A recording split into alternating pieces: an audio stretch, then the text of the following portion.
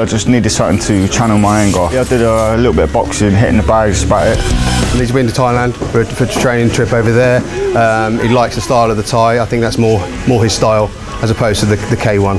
Definitely my attitude changed towards training. Uh, a lot more discipline now. Um, diet and all stuff like that was always good. But um, before, I never really see the point of running and stuff like that. I think it was more a mental attitude that changed from seeing the way that it's done out there.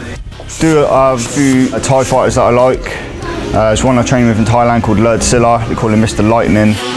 Anyone wants to channel their anger, they're doing martial arts, take up something, doesn't matter what it is. You could be boxing, any sort of martial art as well.